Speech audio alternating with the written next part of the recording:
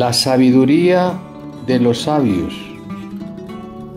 Padre Estefano Manelli, doctor en teología sagrada,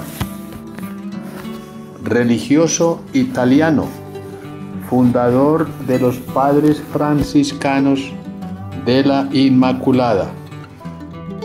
Voy a compartir unos, unos breves eh, textos del padre Estefano Manelli, tomado de su libro Jesús, nuestro amor eucarístico. La devoción a la Eucaristía, dijo San Pío X, Papa de la Eucaristía, es lo más noble, porque tiene a Dios como objeto y es lo más provechoso para nuestra salvación. Dios es el autor de la gracia y es dulzura en sí mismo. La devoción a la Eucaristía, junto con la devoción a nuestra Madre Santísima, es una devoción del paraíso, porque es la devoción que los ángeles y los santos del cielo también tienen. Hay una escuela en el cielo, solía decir la mística Santa Gema Calgani. Y ahí lo único que tienes que aprender es cómo amar incondicionalmente. La Eucaristía es amor en sí misma, idéntica a Jesús. Es el sacramento del amor que rebosa en caridad, que contiene verdaderamente a Jesús viviente y verdadero el Dios amor que nos amó hasta el final. José, Jesús Eucarístico es un amor crucificado en el santísimo sacrificio de la misa, en la cual Él renuncia o renueva su inmolación por nosotros. En la comunión sacramental y espiritual, Él es un amor que une, haciéndose Él uno con la persona que lo recibe. Él está presente en el santo tabernáculo como un holocausto de adoración al Padre. Él es un amor contemplativo en su encuentro con las almas de los que desean estar a sus pies, como María de Betania. Él es amor que ora viviendo siempre para interceder por nosotros ante el Padre. Jesucristo es un amor que satisface deliciosamente en el regocijo celestial de la unión nupcial con sus esposas favoritas, vírgenes de ambos sexos, a quienes Él atrae así en un amor exclusivo, del mismo modo que atrajo a San Juan Evangelista, el apóstol virgen, y el único que se recostó sobre su pecho en el cenáculo. El ser poseído por Jesús y poseerlo, ese es el verdadero reino de amor, escribió San Pedro, Julián e Imar. Aprendamos todo esto en la escuela de los santos. Ellos vivieron de una manera ardiente y sublime como verdaderos serafines de amor por la Eucaristía. Y son, como lo declara el Vaticano II, el camino más seguro hacia el Dios de amor eucarístico. San Juan Vianney, el cura de Ars, oraba a las dos de la mañana.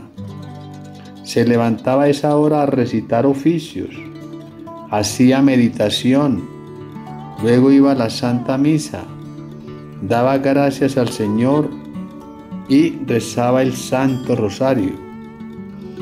El poder de la Sagrada Eucaristía es divino e infinito y solo Dios puede lograr las grandes transformaciones la Eucaristía es Dios entre nosotros. Es nuestro Señor Jesucristo presente en los tabernáculos de nuestras iglesias, con su cuerpo, sangre, alma y divinidad. Es Jesús oculto bajo las especies de pan, pero real y físicamente presente en la hostia sagrada. De modo que Él vive en medio de nosotros y está a nuestra disposición. Jesús Eucarístico es el verdadero Emanuel, Dios con nosotros.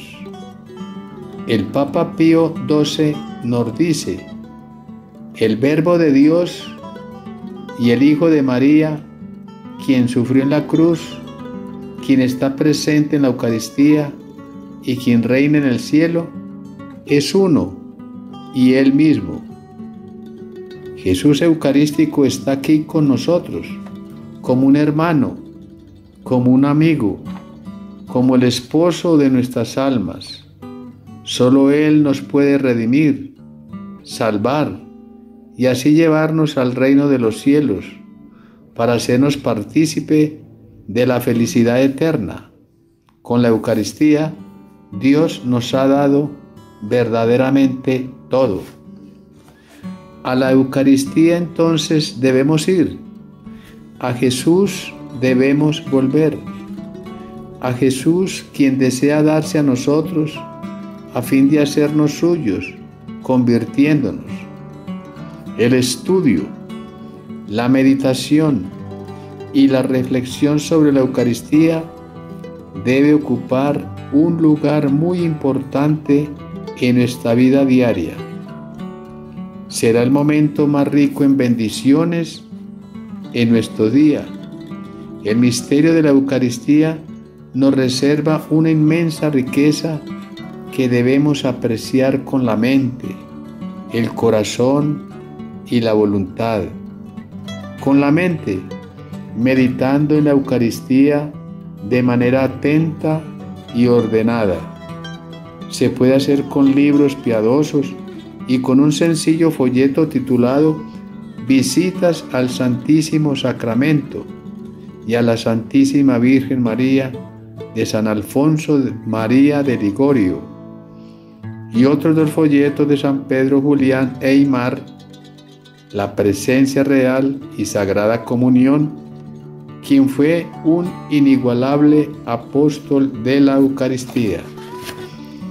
Estamos llamados entonces a buscar siempre la Sagrada Eucaristía, porque en ella encontraremos no solamente nuestra salvación, sino nuestra fortaleza y claridad mental para vivir cada día con lucidez y plenitud cristiana. El Padre Estefano Manelli, doctor en Teología Sagrada, septiembre del 2022.